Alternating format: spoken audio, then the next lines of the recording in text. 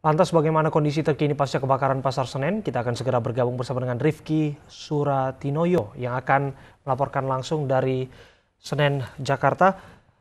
Rizky, seperti apa proses pemadaman sore ini? Abraham, Yufi, serta pemirsa, mungkin Anda bisa melihat di belakang saya inilah suasana di Blok 1, Pasar Senen, Jakarta Pusat, di mana masih ada asap yang membubung dan proses pendinginan juga masih dilakukan. Namun proses pemadaman sudah dihentikan untuk di blok satu ini karena sudah sumber api sudah dianggap sudah tidak ada. Sedangkan untuk di blok 2 memang hingga saat ini proses pemadaman masih dilakukan.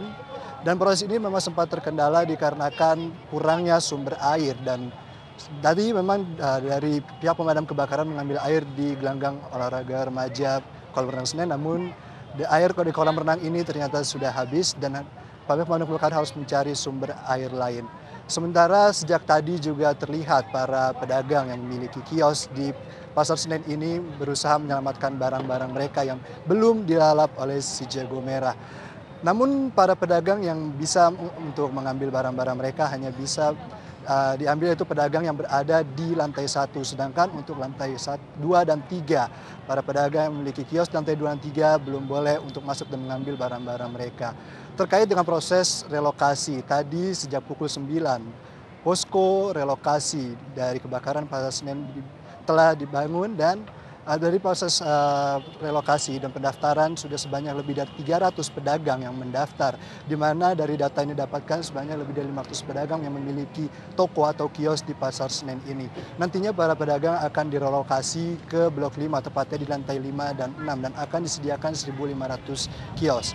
Untuk proses dari uh, relokasi para pedagang hanya perlu menunjukkan kartu tanda penduduk atau KTP kepada petugas posko dan nantinya petugas posko akan mencocokkan apakah benar data dari KTP yang dipegang oleh pedagang ada di dalam data yang dimiliki oleh pihak pengelola pasar yaitu dari PD Pembangunan Jaya. Dan sejak tadi dan tepatnya pada pukul 17 waktu Indonesia Barat tadi posko dari relokasi pasar Senen tepatnya di Blok 1 ini sudah ditutup dan dari yang sudah diberi, eh, dari kami informasikan sudah lebih dari 300 pedagang yang mendaftar. Upaya untuk pemadaman di Pasar Senen tepatnya di Blok 1 dan 2 memang menemui kendala. Terlebih sudah lebih dari 30 jam Pasar Senen Blok 1 dan 2 Jakarta Pusat terbakar.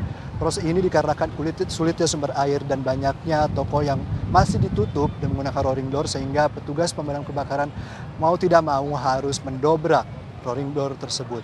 Yang menjadi pertanyaan adalah memang adanya berbagai sumber atau pihak yang menyatakan bahwa adanya sabotase dari kebakaran di Pasar Senen Jakarta Pusat yang terjadi hari Kamis 19 Januari lalu.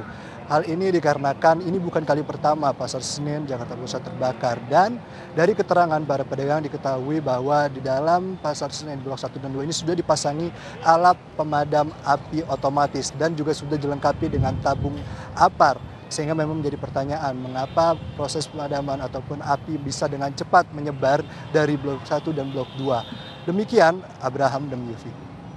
Baik, terima kasih Rifki Suratinoyo laporan Anda langsung dari Senen. Jakarta Pusat.